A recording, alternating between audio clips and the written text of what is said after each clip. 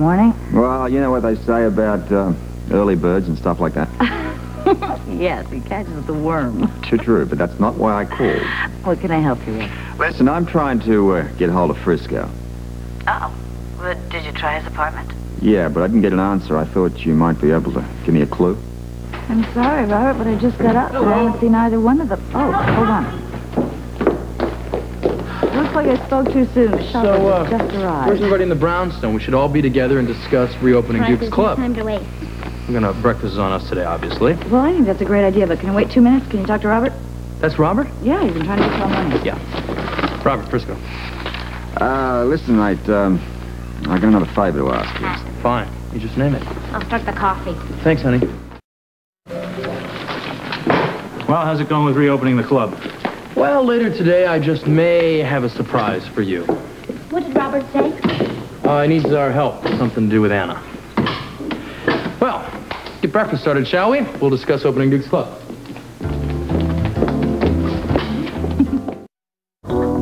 By the way, I like mine poached, and Bobbie likes hers semi side up. Well, congratulations. I scrambled them all. Like I said, Bobbie and I both like our scrambled. Sorry. So, um, how's marriage going, huh? Pretty good so far. Yeah? Yeah. Yeah. That may not last long. Oh, yeah, I forget. Compared to me, you're an old hand at this marriage stuff, aren't you? I sort of feel like a war veteran, although I've never been in a war. Come on, I don't see any scars, Frisco. And none that I'll show you, buddy. Not what you thought it was going to be, huh? I don't think marriage is ever predictable. Isn't that the truth? You know, I really think it wasn't going to be too different, but it is different. Oh, yeah. Very different. And it started, what? Not like moving your clothes into No, somebody's it closet. certainly isn't. And you know, it really did start the moment we said I do. Good or bad? Complaining. We're only married a week, mind you. Well, give it a little time. You gotta get used to each other. It's different. And I know that intellectually, of course, but I don't know. I still had this idea that it wouldn't be too different. I mean, Bobbie and I living under the same roof quite a long time. Oh, no.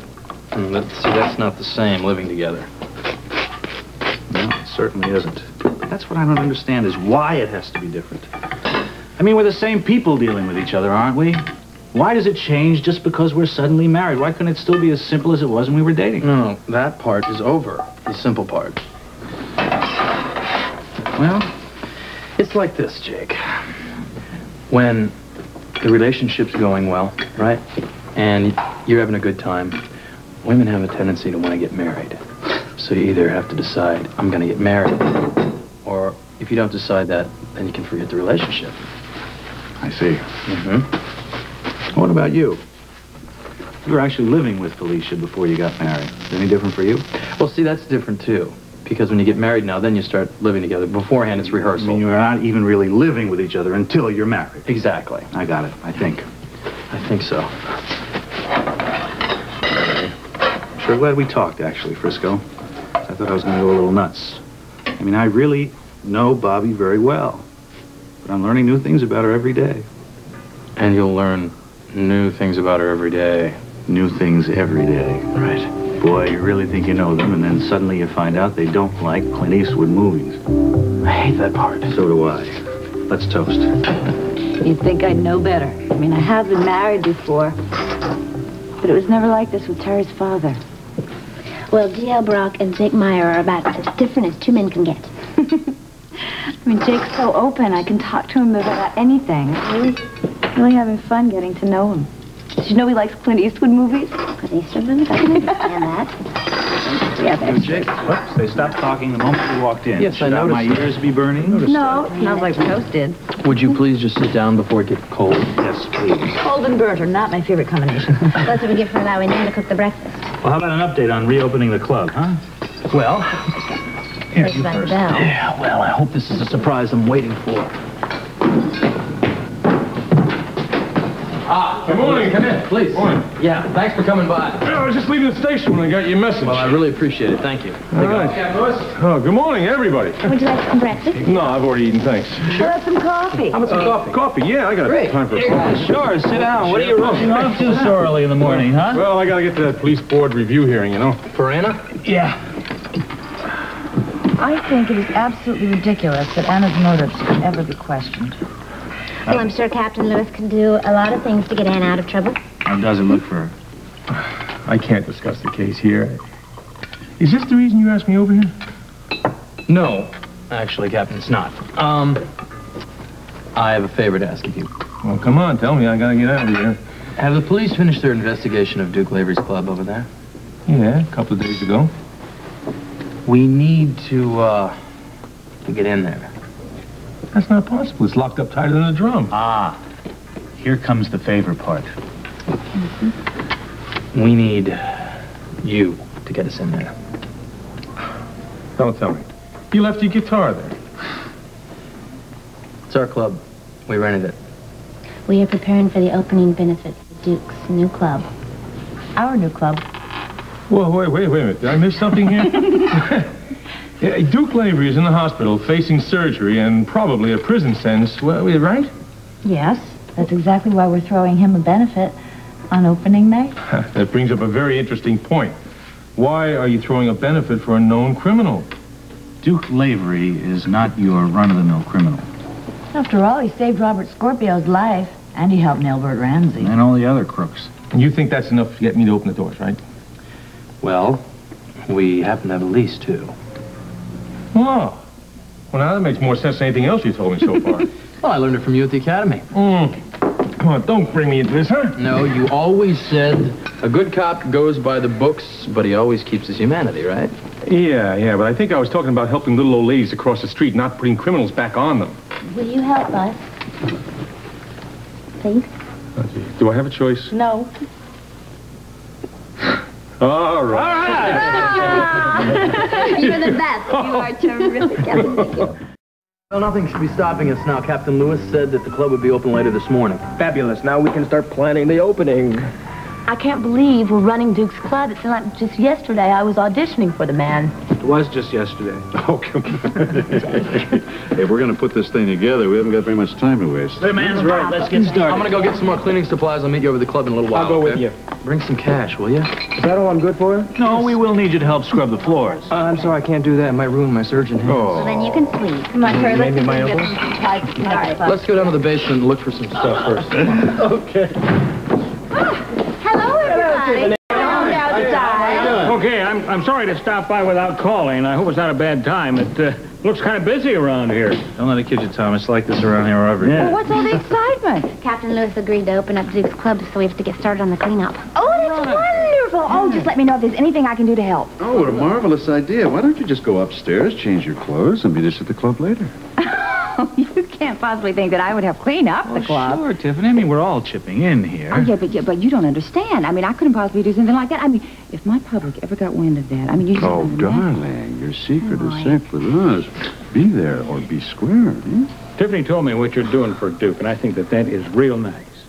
It'll work out well for all of us. Yeah, what can we do for you, Tom? Well, nothing for me, really. It's uh, I'm here about Duke, too. Uh, the shop stewards at the union are planning to bring him up on charges of misusing the union funds. That's not fair. Oh, great. That's all Duke needs right now is some more legal troubles. Yeah, I, you know, I know that you've got kind of a reputation of being, what, a champion of the underdog. So I was thinking if you could talk to the guys, maybe we can do something to stop them before they file the formal charges. I thought that was up to the district attorney. Yeah, it is, but the way that the union members feel is bound to sway the district attorney in some way. Yeah, but I think Tom is right. I think you should go over there. Mm-hmm. Try and stop this thing before it starts. Why don't you go too, Sean, because the guys trust you. Yeah, Good that's idea. a good idea. You two go to the meeting, and I'll see you at Duke's later. Sounds like a mm-hmm. plan. Okay. Oh, what does it look like? This place is a little worse than I remembered. Well, now come on, we can do this. We just all have to pitch in. When were you planning on reopening this place? Next summer? Come on, Tiffany. Rome wasn't built in a day. That's right. You're right, Felicia. Okay, why don't we just all pitch in and see how much we can get done by lunchtime? Oh, good. That's the spirit. Yeah, okay, uh, wh- wh- where would we start first? Well, why don't we just divide up all the duties? Well, I guess that makes sense. Okay, uh, uh, Frisco and Patrick, why don't you pick up all this trash and put it in bags and get rid of that trash, okay? And I think Felicia, you and Terry, you could uh, start wiping Okay, out the tables and everything and wipe it. out the chairs. There's dust on those chairs and everything, okay? All right, I, I got some towels back. Great. Water. Great. Bobbie. I am exhausted. Oh, join the club. It doesn't make me feel better, Felicia, you know? Tiffany, what happened to you? You don't look yourself. I know I don't. Manual labor is not exactly my cup of tea. I, well, at least all of this exercise is for a very good cause. Yeah, well, I'd rather do my exercise at the spa, thank you. I can't stand the thoughts of going down and having anybody see me look like this on the street. Don't worry about it. By the time we get out of here, it's going to be dark anyway. Well, by the time we get out of here, you're going to have to carry me out in one of those bags with all the other dirty rags. Well, at least this place is starting to come together. Yeah, it looks like we're going to be ready for a reopening after all. Have you started to think about the songs you're going to do for the benefit? Oh, not yet. You got any requests? You bet I do. I want you to sing every song with me in mind. And the slower, the sexier, the better. Now, don't forget there's going to be more people in here than just the two of you. Well, as far as I'm concerned, Terry's going to be singing every one of those songs for me. Ah, what about the rest of us? Do we have any say? No, it's my money. Will you let the man have his dreams, please? Well, all I hope is that we just get a lot of money raised so so we can have Duke's bills paid for once and for all. I'll tell you what I'm doing. I'm going to put my money where my mouth is. For every song that Terry sings for me, I'll donate a $100 to Duke's cause. Ooh. Well, for that kind of money, I'll sing whatever you want. You may think I'm crazy, but I'm really having a good time. I. I think that we should all thank Frisco for getting Captain Lewis to unlock this place for us. Well, it was one thing to get Lewis to do it. It's going to be another thing getting the police to allow us to run this club. Mm. Well, whose approval do we need? We need the police chief's approval. And from what I understand, we don't have one right now, do we? Unless Anna passes that review board, all of this work's going to be for nothing. Are you kidding me? I did all this stuff and I ruined my hands and I've got blisters on my sorry, fingers. You didn't Tiffany. even tell me this. I'm sorry, but yes, that is true. I, The police board yeah. may not allow us to hold the benefit for Duke. What about us? This is our only income. Well, I think we better all keep our fingers crossed or the Brownstone venture is going to be over before it starts. Anna's going to have her hands full. That police board's a tough group. I'm so sorry for Anna. Mm-hmm, me too. I know what it's like to see your career fall through your fingertips. So you guys made as much progress as we did. We did make some progress. Well, we did more than just make some progress. When we walked in there, they were ready to string Duke up to the highest lamppost. What about after you left? Well, at least we got them willing to take a poll of all the other members to see if they want to keep him on as president. Mm-hmm. Well, Tom was smart to take you guys to the, to the meeting. Well, actually, I didn't do much. I think all the credit goes to Councilor Oh, listen to Meyer Mr. here. Modest. No, no, no, no, no. He did a terrific job our defending. language. No, you did. You did. Well, in that case, I did it all. Just that man. Ooh, yes, I like that. Hmm. Tiffany, why don't you come and say hello to John and Jake? They're both here. Oh, there's no time for small talk when there's all this work to be done. What is this, Tiffany Hill? There must be some mistake. I have never seen this woman before in my life. And as God is my witness, you're never going to see her again. Sean, you weren't supposed to see me looking like this. Oh, honey, you look beautiful, scrumptious, sexy. I love what honest toil does for a woman. You're absolutely glowing. It's hives. I'm allergic to the cleaning fluid. And I've been on my knees scrubbing all day long, so just don't look. Uh, we better get going, all right? What's up? Well, I just mentioned to Robert uh, that we'd do a favor for him.